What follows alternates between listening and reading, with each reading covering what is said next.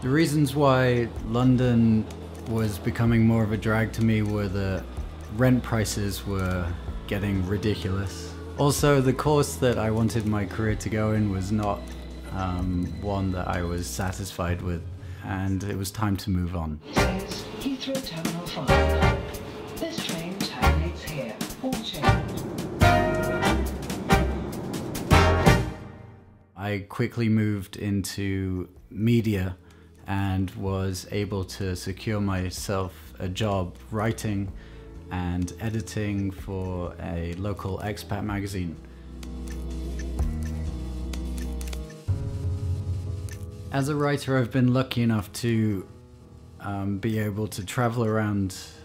It's the type of work that you can do almost anywhere. So I've, I've been extremely lucky in that regard. We're at Leshan Dafo, which is uh, one of the biggest Buddhas in the world.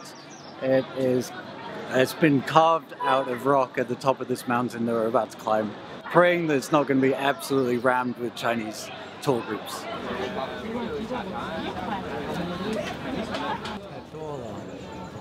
One, two, three.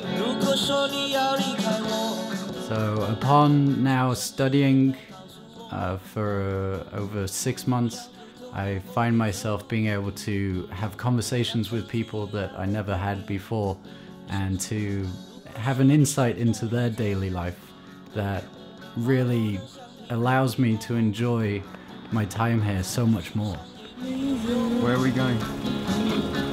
Java, the bar from your home.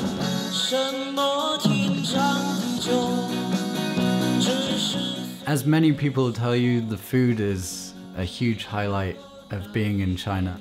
You're constantly discovering different foods. It's incredible how much you can find. China is huge and it holds so much culture within its borders that to try and explore it all would uh, take a very long time. Um, but it's something that I've tried my best to do. Things perhaps become more restrictive culturally and media freedoms and um, human rights freedoms are constantly uh, decreasing.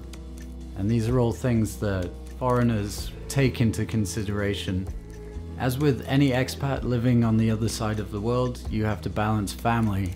Unfortunately, their draw and my need to be with them will outweigh my need to have adventure at some point, and this will be the thing that takes me back home.